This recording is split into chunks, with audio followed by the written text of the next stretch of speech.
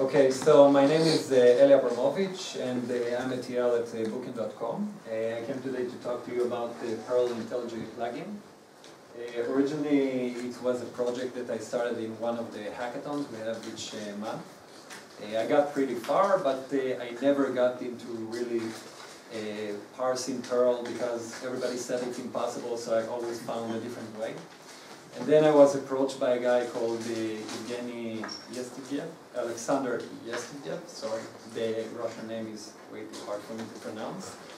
And uh, he did a brilliant job on uh, parsing entire uh, Perl uh, language. Uh, and that enabled us to have a lot of features that I'm going to show you later today.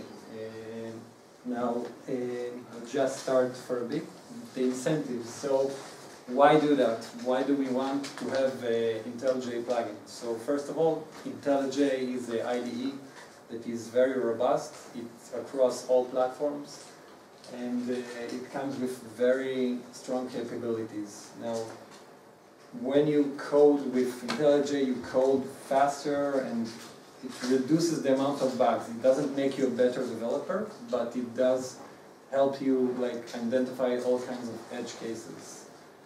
Um, besides that, it's uh, about adding uh, new developers to our uh, uh, community. So a lot of people are very afraid to go into Perl because there is no real official IDE. So you can go with Vim or you can go with Sublime, but uh, people that come from Java or PHP, they will feel really right at home if they work with IntelliJ or when we port this plugin to WebStorm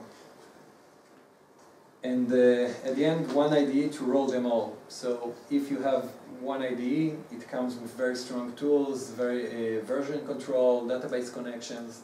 At the end you will have a very strong tool at your hand just to support all the things that you already do uh, every day in the IntelliJ, in the programming. So we're going to go to uh, show the few uh, Let's see.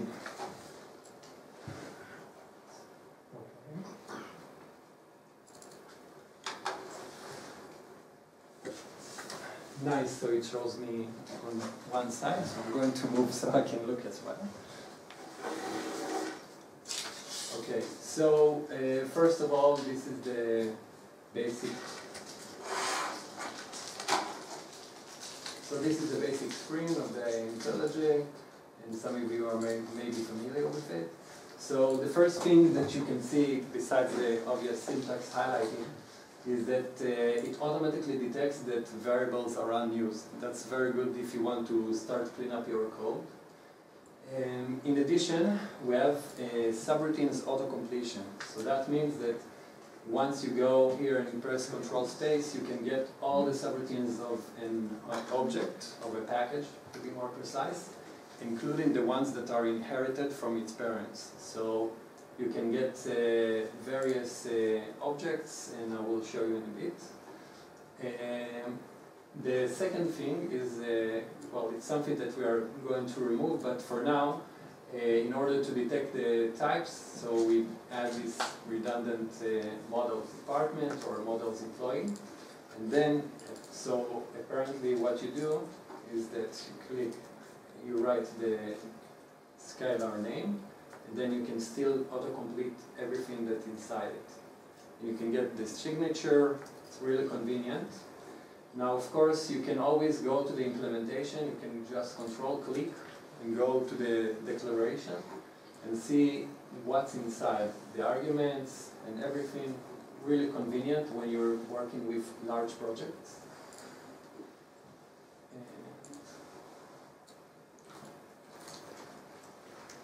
Can I ask something? Yes. Are, are you saying that that uh, double declaration that of the My Models department that that is going to go away? Yeah, so this part we are planning to remove it, it remove the need for it. So Right. for now, for this stage, we are using it so IntelliJ can detect what kind of variable it means. Right, a form of type inference. Yes. Yeah. Um, what about uh, functions that you import via a use statement, use, package, and a list of functions? Yeah. That uh, so you have uh, in general you have the use uh, option. So Yes. we, can use that, and uh, in essence, just when you anything that you import, you you can just get the entire thing, the entire subroutines. Is that what you mean? Mm, no, but I think I made a silly question, so please never mind. Okay. Um, so, uh, as I said, so we can uh, resolve the, the auto-completion uh, to get the name. Now what's nice here is you can see that we, we can actually cascade the, the subroutines. So the get head is actually has this uh, small uh, annotation that tells it, okay, you are returning models employee. I suspect that in the future we might be able to re resolve that uh, in some cases, but here, of course, you have self, so you're not sure what you're getting. But uh, in some cases, we might be able to detect that. And then from that, we get the get name. So as you can see, you get a lot of things that you will never have to go inside the class to check them. You just get it automatically. And another useful thing, uh, which I really think that we need uh, in every big project, is to add the deprecated.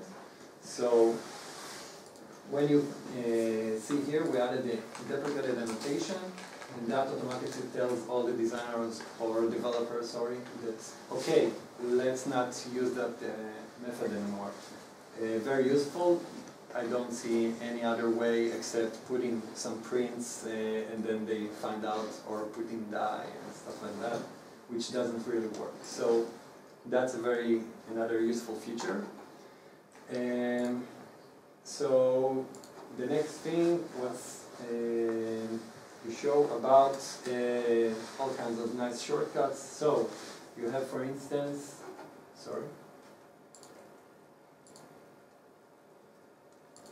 You can have smart templates, so you can just autocomplete every other uh, loops that you want. And if, for instance, uh, you have uh, you want to create a map, so uh, the general plans is that it will automatically detect the type, so it will get automatically complete for you the if you have a list named in a certain way, it will automatically complete and then you just press enter and just do uh, something like uh,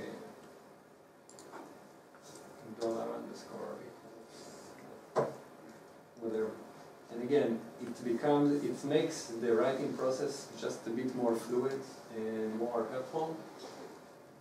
And another thing that we've added is uh, the here doc where uh, you can add uh, actual different syntax. So in the middle, you can see that although I'm in Perl, I can start getting, sorry, autocomplete of uh, JavaScript.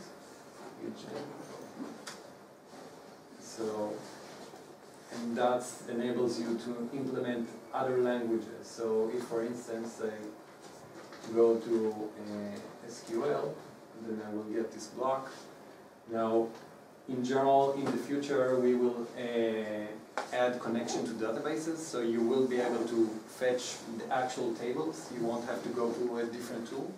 You just get the automatically the entire list. And another nice way is to show that we also detect in regex like if uh, it's a string or is it an expression, and then we can add comments. So everything, is, as you can see, is actually detected. Now, all these features are really nice and good, nice to have. And, but in the end, we also strive for bigger features. So we have the refactoring. refactoring. So, for instance, you can take this uh, package, you change it, it changes the example 2 p.m. It also changes all over the code. So and for instance, let's say employee DB fetch, we can start messing with that.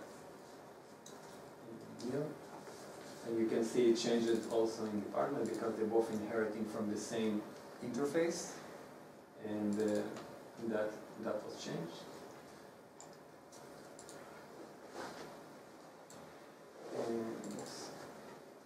And another nice fe uh, feature is uh, something that I really, really like, is when you want to look for a specific package, when you work with a big, big project, you can just do the autocomplete. Sorry that it's not showing you the path. Let's see if I can move the window. Let's try to move it here maybe.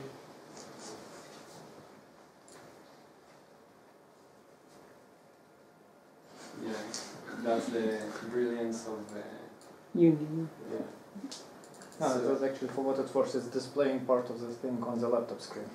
Yeah, so, Ah, uh, yeah. what you Yeah, get, so it's part of it device. is here, yeah. So, in general, what it does, it just auto-completes the packages, so it automatically detects the Yes. model's booking department, and then it takes me to the file. That makes a really quick navigation, you don't have to remember the file or anything, it just automatically works. You can always, of course, uh, go for the file name, the, um, let's say, department, and then you will get department PM. Let's see if now it might give me a module, no, it always shows it to the left. And, okay, and then, uh, as I said, IntelliJ is very strong tool, so with that you get all the benefits of version control, so it can work, work with various version controls, but for instance, uh, with uh, Git, you can get this nice tool. You can just move uh, to the right or get uh, or cancel the changes, whatever you decide.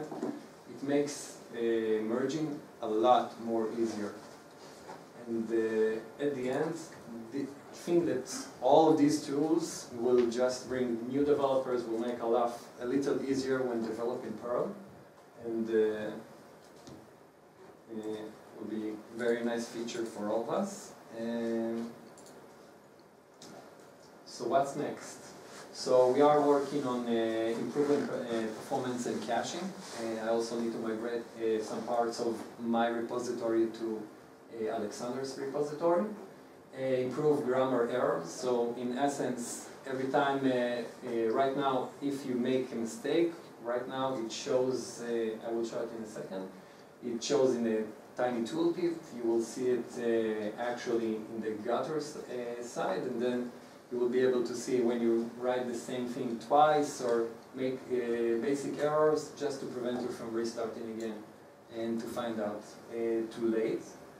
Uh, later on, we'll add uh, running and debugging uh, PL files, auto formatting, which will uh, be a nice feature. And for more, just join us. It's an open source project. Uh, just to show you in general uh, what I meant regarding errors. So, for instance, I'm going to write, uh, let's remove this. So you see, okay, you're missing strict and uh, warnings. Good, I forgot. Besides that, uh, I'm going to just do something and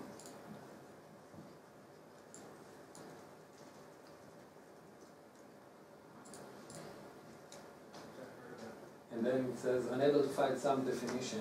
So it will show in a nice icon here on the left, but that will really pop up your eye any issues that might uh, involve, uh, might occur. Um,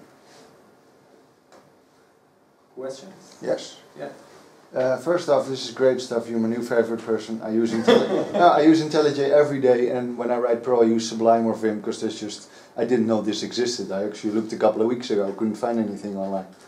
Um, apart that I'm going to use this, have you considered integration with uh, existing things like uh, Perl Tidy or in Perl Critic? So we are talking about adding uh, these features, but currently we are focusing on giving the basics, uh, finishing all kinds of tiny bugs, and once we stabilize it, second priority is the, to port it to WebStorm. So hopefully that would encourage even more PHP developers, uh, and also we are hoping uh, Java developers, actually everyone that used IntelliJ, to add to the project. And of course, Perl developers that can bring their insights uh, uh, from the core. Um, the nice thing, uh, but later on, is we will also add uh, Perl tagging. But right now I could already use this. This is fairly Uh, production yes, ready. This is a, this is usable. This you can download it. Uh, there is also in the repository. And actually, I'm not connected to the internet, but you can just go to this address, and uh, inside you will have also the compiled jar. So all you have to do is activate the IntelliJ, Control Shift A, install. Well, install the plugin. You can look online how to install a plugin and it will work for you. You don't. Uh, there is a wiki there how to configure your project. Um, it's very usable, and again, any if you like it, just uh, feel free to contribute. We are happy to get more people at the work. Great, thanks. Yes. Um, how much of this is uh, usable without uh, requiring? How much of, the, of this is independent from IntelliJ? How much of Um, this no, would be usable none. as an external project? Almost none, because well, we have the BNF, which is the uh, you can think about as the schema of the language. Yes. That's something that maybe you can take in use, but it, again, it's a little altered the way that IntelliJ interprets it. The rest of the code is purely to integrate into IntelliJ. So all the searches, all the refactoring, all this stuff, uh, these are features of this strong IDE, and we work on the integration part. Like, it's a lot of work and a lot of use cases, especially when it's Perl, but that's what we do. So you can get the BNF file, and again, it's an open source source, so feel free to browse and anything. Uh, Anyone else? Okay, thank you very much.